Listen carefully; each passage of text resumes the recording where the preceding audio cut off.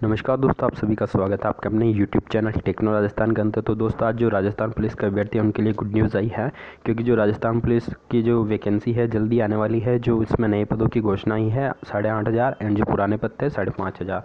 तो इन दोनों को मिलाकर चौदह हज़ार पदों पर जल्दी वैकेंसी आने वाली है एंड जिसमें आयु छूट में, आयु में भी छूट को बढ़ाया गया तो चलिए फ्रेंड्स देखते हैं कंप्यूटर डिटेल्स तो फ्रेंड्स, ये दैनिक भास्कर न्यूज़पेपर के अंदर आया कि कांस्टेबल भर्ती जल्द, उम्र की छूट तीन से बढ़ाकर चार साल होगी। तो आप देख सकते हैं, जो पिछली बार बाईस, जो तेईस साल किया था, उसको बढ़ाकर पच्चीस साल कर दिया गया है। जो अधिकतम एज है, पच्चीस साल वाले भी इसके लिए अप्लाई कर सकते हैं।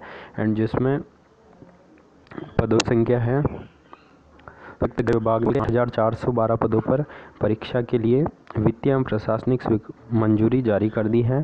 पुलिस मुख्यालय को यह स्वीकृति भेज दी गई है। जल्द ही परीक्षा ऑफलाइन आयोजन की प्रक्रिया शुरू हो सकती है। पहले रद्द हुई साढ़े पाँच हज़ार पदों की भर्ती को भी मंजूरी सरकार से मिल गई है। उधर मुख्य सचिव एन सी गोयल की अध्यक्षता में गुरुवार को उच्च स्तरीय मीटिंग हुई, जिसमें इस भर्ती के लिए अभ्यर्थियों को उम्र में तीन साल की छूट से बढ़ाकर चार साल करने का निर्णय लिया गया।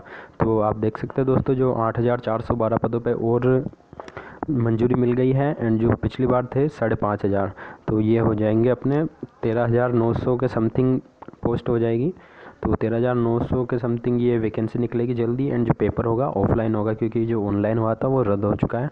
तो फ्रेंड्स ये गुड न्यूज़ जो राजस्थान पुलिस की तैयारी कर रहे हैं उन सभी के लिए। ठीक है दोस्तों तो ये शॉर्ट न्यूज़ आपको देनी थी। तो दोस्तों, उम्मीद करता आपको ये अच्छा लगा वीडियो। तो ठीक दोस्तों, आप तैयारी कीजिए अपनी। राजस्थान पुलिस की जो पदों की संख्या हो गई है, तेरह हज़ार नौ सौ। ठीक है दोस्तों, मिलता है नई वीडियो में।